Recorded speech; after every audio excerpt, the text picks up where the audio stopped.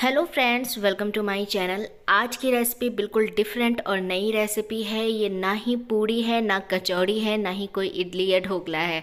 बिल्कुल अलग तरीके से बन रही है, लेकिन बहुत ज़बरदस्त नाश्ता बन के तैयार होगा। वीडियो को पूरा ज़रूर देखिएगा। लेकिन वीडियो शुरू करने से पहले, अगर आप मेरे चैनल पर नए हैं तो प्लीज़ चैनल को सब्सक्राइब करिए। साथ ही बेलाइकन को प्रेस करिए, जिससे आने वाली हर एक वीडियो की नोटिफिकेशन आपको मिल सके और वीडियो को लाइक करना बिल्कुल ना भूलिए। तो चलिए वीडियो शुरू करते हैं। तो सबसे पहले हमें चाहिए सूजी। तो यहाँ मैंने आधा कप सूजी ली है, ये बारीक वाली सूजी है। अगर आपके पास मोटी सूजी है तो उसे मिक्सी में ग्राइंड कर लीजिएगा। अब मैंने यहाँ पे एक छोटा चम्मच डाला है चिली फ्लेक्स, एक छोटा चम्मच ऑरिगेनो और एक छोटा चम्मच ही मैंने यहाँ पे डाला है नमक का। सबको आपस में मिक्स कर लेंगे और उसके बाद थोड़ा थोड़ा पानी डाल के हमें इसे फुलाना है मतलब इसको सोक करना है, भिगोना है। लेकिन बहुत ज़्यादा पानी नहीं डालना है, बस हल्का हल्का पानी डालेंगे और इतना ही पानी डालेंगे कि ये हल्का सा इकट्ठा हो जाए। हल्का सा डो के फॉर्म में आ जाए। इस तरह से हमें भिगोना है, बहुत ज़्यादा पानी डाल देंगे तो ये गीला हो जाएगा, इस चीज़ का ध्यान रखिएगा। ये देखिए, बिल्कुल डो की तरह हो गया है। हल्का सॉफ्ट ही रखना है, क्योंकि सूजी पानी को अब्जॉर्व करेगा बाद में। तो बस यह इकट्ठा हो गया है। अब हमने इसे कवर करके रख देना है रेस्ट करने के लिए। और जब तक ये रेस्ट करेगा, तब तक हम अपनी स्टफिंग तैयार कर लेंगे। तो इसके लिए बस तीन से चार टेबल स्पून पानी लगा है, आधा कप में से। और अब मैंने ले लिया है यहाँ पे दाल तो ये मूंग की दाल है बिना छिलके वाली और इसे मैंने दो घंटे के लिए भिगो के रख दिया था। अभी अच्छे से फूल गई है नाखून से ये टूट भी रही है, इसका, इसको धो के अच्छे से इसका पानी निकाल दिया है। और मिक्सर ग्राइंडर में हम डालेंगे एक आलू तो ये कच्चा आलू है, मीडियम साइज़ का आलू है, इसके मोटे मोटे पीसेस कट करके हमें डाल देना है इसमें। और इसके साथ ही डालेंगे आधा इंच अदरक का टुकड़ा और एक डाल देंगे हरी मिर्च। तो एकदम रफली चॉप करके हमें डाल देना है क्योंकि हम इसे ग्राइंड करने वाले हैं। और इसके साथ ही हम डाल देंगे एक प्याज और साथ में दो कलियाँ लहसुन की। ज़्यादा नहीं डाल रहे हैं, बस दो कलियाँ डालेंगे। और इन सबको एकदम दरदरा एक बार हल्का सा ग्राइंड कर लेंगे। मैंने यहाँ आलू प्याज लिया है, आप इसकी जगह लौकी ले सकते हैं कैप्सिकम ले सकते हैं, गोभी ले सकते हैं, आप गाजर ले सकते हैं, जो भी सब्ज़ियाँ आपके पास अवेलेबल हैं, वो आप डाल सकते हैं और इसको आप अपनी तरह से हेल्दी वर्जन दे सकते हैं। तो अब हमने इसका लिड हटाया, देखिए हल्का सा ग्राइंड कर लिया है और इसी में हम डाल देंगे अपनी दाल जो हमने भिगो के रखी थी। और ध्यान रखना, हमें इसमें पानी बिल्कुल भी नहीं डालना है। आलू और प्याज में पानी होता है, उसी पानी से ये दाल दाल पिस जाएगी, बिल्कुल भी पानी नहीं डालेंगे, नहीं तो ये गीला हो जाएगा। तो बस पानी का बिल्कुल भी अवॉइड करना है, यहाँ पे बिल्कुल नहीं डालना है और एकदम फाइन पेस्ट हमें बनाकर तैयार कर लेना है। तो ये देखिए, एकदम फाइन पेस्ट बनकर तैयार है दाल का। और इसके ढक्कन में भी बहुत सारा दाल लगा है, वो भी हम पहले इसमें निकाल लेंगे। और इसके बाद हम इसे एक बर्तन में ट्रांसफ़र कर लेंगे। तो बस, दाल हमारी पिस गई है, इसे हम दूसरे बर्तन में निकाल ले रहे हैं और अब हम इसमें थोड़े से स्पाइसेस डालेंगे। पीसते टाइम बिल्कुल मत डालिए, यहाँ पे डालेंगे, उससे एक दरदरा सा टेक्सचर आएगा, बहुत ही अच्छा खाने में लगेगा जब वो मुँह में आएँगे जैसे। तो सबसे पहले मैं यहाँ डाल रही हूँ एक चुटकी हींग। मैंने ये घर की पिसी हुई ओरिजिनल हींग है, इसलिए बिल्कुल एक चुटकी ही डाला है। अगर आपके पास बाज़ार की है तो थोड़ी सी ज़्यादा भी डाल सकते हैं। और अब हम इसमें डालेंगे आधा चम्मच चाट मसाला, एक चौथाई चम्मच लाल मिर्च पाउडर और आधा चम्मच हल्दी पाउडर। और इसके साथ डालेंगे एक चम्मच क्रश किया हुआ साबुत धनिया, जो धनिया के बीज होते हैं वो। और एकदम एक चौथाई चम्मच ही हमने इसमें नमक डाला है। नमक ज़्यादा नहीं डाला है क्योंकि हमने सूजी में भी नमक डाला है और चाट मसाला में भी नमक डालना है। तो बहुत हिसाब से डालना, हल्का सा मिक्स करके इसमें डाल दिया है धनिया। ये करीब दो चम्मच के करीब धनिया है, हरा धनिया काट के। बहुत ही अच्छा फ्लेवर आता है इसका, इसको मिक्स कर दिया। स्टफिंग हमारी बिल्कुल बनकर तैयार है। अब हम अपना डो देख लेते हैं, जो कि अच्छे से फूल गया है। ये देखिए, काफ़ी अच्छे से सूजी फूल गई है और पहले कितना सॉफ्ट था, अभी एकदम फूल के ये टाइट सा, हल्का सा हो गया है। एकदम डो जैसा हो गया, जैसे आटे का डो नहीं होता है, रोटी का। बिल्कुल वैसा हो गया है। ऐसा ही हमें चाहिए। अब हम इसे अच्छे से एक बार मसल लेंगे, इसे अच्छे से मसल लेना ज़रूरी है। और इसके बाद हम हम इसको बेलेंगे। तो इसकी लोइयाँ हम, हमें तोड़ लेनी है इस तरह से। और अब हम इसको बेलेंगे तो इसको बेलना बिल्कुल आराम से बिल जाएगा, ना ही ये चिपकेगा, ना ही हमें इसमें कुछ लगाने की ज़रूरत पड़ेगी।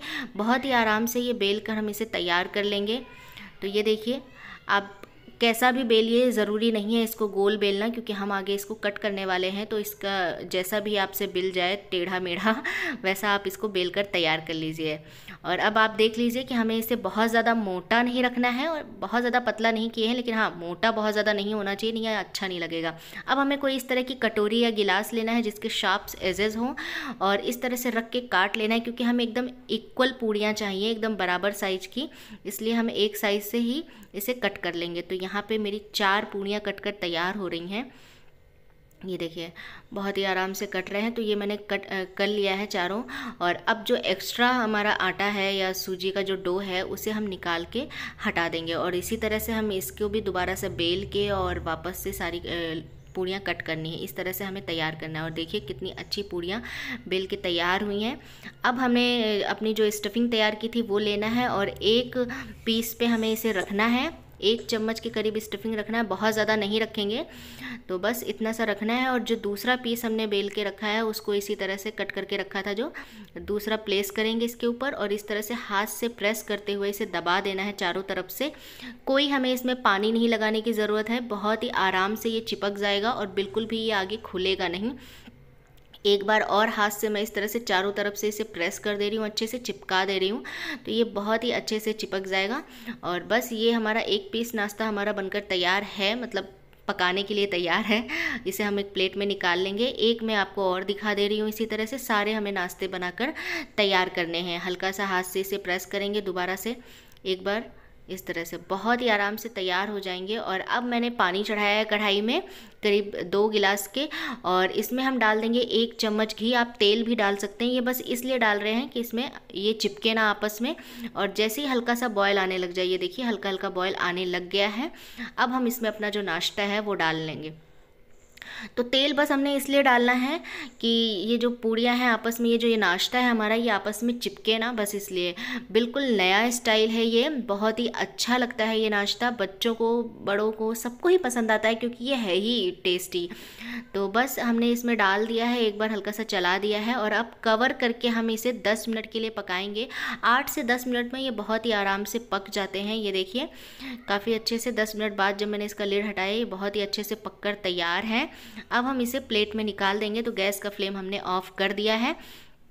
और सारा ही नाश्ते जितने हमने बनाए हैं, मैंने फ़िलहाल चार ही बनाए हैं तो बस अब हम इसको निकाल लेंगे प्लेट में।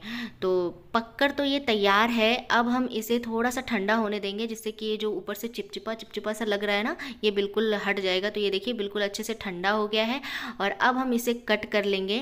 तो एक नाइफ़ लेना है और उससे कट करना है, बहुत ही सिंपल है। अब आप चाहें तो इसे इसी तरह से सर्व कर दीजिए और लेकिन हम इसे आगे फ्राई करने वाले हैं। तो ये देखिए, इसे हमने कट कर लिया है और ये बहुत ही अच्छे से नाश्ता तैयार है। इसको कट करने के बाद जो दाल है ना, हमने अंदर दाल की जो स्टफिंग दी है, वो बहुत ही अच्छे से जम गई है। तो आप चाहें दो पीसेस में कट करें, चार पीसेस में कट करें, मर्ज़ी आपकी है, जैसा चाहें वैसा कट कर लें। और इसे आप ऐसे ही सर्व कर सकते हैं किसी चटनी के साथ या सॉस के साथ, हरे धनिया की चटनी के साथ ये बहुत ही अच्छा लगता है ऐसे ही, लेकिन हम इसे फ्राई करने वाले हैं, इससे इसका टेस्ट एक गुना और बढ़ जाएगा। तो अब आप देख लीजिए ये कितने सुंदर लग रहे हैं कटने के बाद और इसको आप ऐसे ही इंजॉय करिए, ये बहुत ही ज़बरदस्त लगते हैं, बहुत ही ज़्यादा हेल्दी हैं ये, पर हम इसे फ्राई करेंगे क्योंकि ज़ाहिर सी बात है, उससे टेस्ट और इसके स्पाइसनेस बढ़ जाएगी। तो हमें उसके लिए लेना है एक पैन और उसमें हम डालेंगे एक चम्मच तेल। बहुत ज़्यादा तेल की ज़रूरत हमें यहाँ पर भी नहीं है, बस एक चम्मच तेल में हमारा काम हो जाएगा। अच्छे से इसको स्प्रेड कर देंगे पैन में और गर्म होते ही इसमें हम डाल देंगे एक छोटा चम्मच राई। और उसके साथ ही डालेंगे सात से आठ पत्ते करी पत्ते के बहुत ही अच्छा फ्लेवर आता है करी पत्ते का इस नाश्ते में तो ज़रूर अगर आपके पास है तो डालिएगा। और अब मैं यहाँ पे डाल रही हूँ एक प्याज, जिसको मैंने लंबे लंबे पीसेस में कट किए हैं। प्याज को डालने के बाद इसको हल्का सा फ्राई करना है। बहुत ज़्यादा हम इसको लाल नहीं करने वाले हैं। बस हल्का सा इसका कलर चेंज हो जाए, हल्का सा। इतना ही हमें इसे सौते करना है। तो ये देखिए, मुझे तो बहुत ज़्यादा डार्क कर देना, प्याज अच्छा नहीं लगता है, इसलिए मैं बहुत ज़्यादा डार्क नहीं करूँगी और मैं आपसे भी यही कहूँगी, हल्का ही फ्राई करना है। अब मैं यहाँ पे डाल रही हूँ एक चम्मच टमाटो केचप और एक चम्मच पिज़्ज़ा सॉस। टमाटो केचप खट्टा मीठा होता है और जो पिज़्ज़ा सॉस है वो थोड़ा सा स्पाइसी होता है तो ये दोनों ही हमारे नाश्ते के में बैलेंस ले आएँगे एक अच्छा सा इस मसालों का। तो बस अब हमें इसे मिक्स करके इसमें हम जो हमने जो नाश्ता बना के तैयार किया है वो डाल देंगे और इसे अच्छे से मिक्स करेंगे। बहुत ही अच्छे से मिक्स करना है, सारे मसाले जो है वो अच्छे से कोट हो जाए हमारे नाश्ते पर। और फ्लेम को यहाँ पे कर देना है मीडियम क्योंकि अभी तक हमने फ्लेम लो रखा था। अब मीडियम फ्लेम पे इसे अच्छे से हल्का सा फ्राई कर लेंगे। और लास्ट में हम डाल देंगे थोड़ा सा हरा धनिया। हरा धनिया का फ्लेवर तो हर चीज़ में ही अच्छा लगता है। तो बस हरा धनिया डाल दिया और इसको हल्का सा फ्राई कर लिया है। और हमारा नाश्ता एकदम पौष्टिक नाश्ता आप जिसे बोल सकते हैं, बनकर तैयार है। बहुत ही टेस्टी। तो गैस का फ्लेम हम ऑफ़ कर देंगे और अब हम इसे गर्मा गर्म सर्व करेंगे। बहुत ही अच्छे लगते हैं इसको आप गर्मा गर्म ही सर्व करिएगा, बहुत ज़बरदस्त लगेंगे।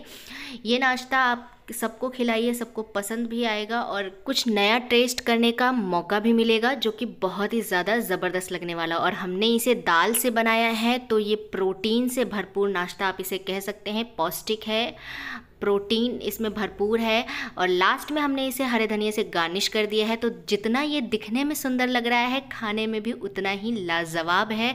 आप एक बार इसे बनाइए। सुबह के नाश्ते में एज अ ब्रेकफास्ट आप इसे सर्व कर सकते हैं। शाम के नाश्ते में भी आप इसे बना सकते हैं।